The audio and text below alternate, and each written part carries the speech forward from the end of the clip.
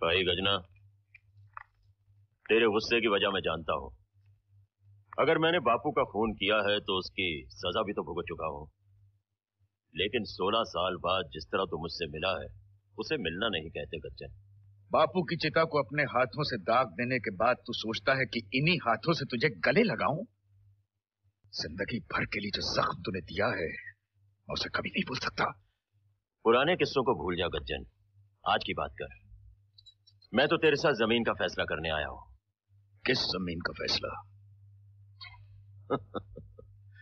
कमाल करते हो गज्जन तुम इन्हें दोस्त रोज कहा था कि बापू के फैसले के बाद हम दोनों आपस में भी कुछ फैसला कर सकते हैं। वो फैसला बापू की मौत से पहले हो सकता था आज नहीं। क्यों?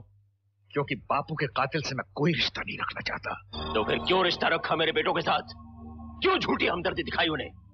क्यों बारात में लेकर गया था उन्हें? और क्यों अंगूठिया दिलवाई उन्हें? गलती की जो मैंने हमेशा उनकी मदद की, उन्हें अपने बेटों की तरह समझा।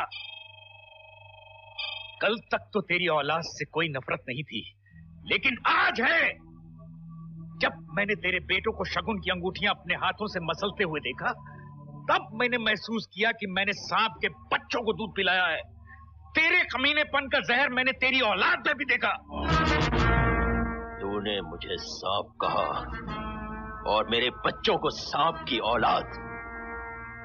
तो लोग ये भी कहते हैं, गज्जन, कि जानबूझकर सांप की खुड्डों में हाथ नहीं डाला करते। क्या कर लेगा तू? जेल के सूखे टुकड़ों से अभी तक मेरा रिश्ता टूटा नहीं है।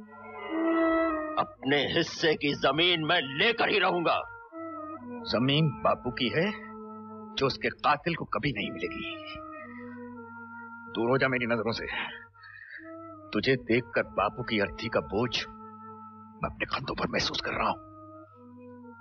दबा हो जाए से।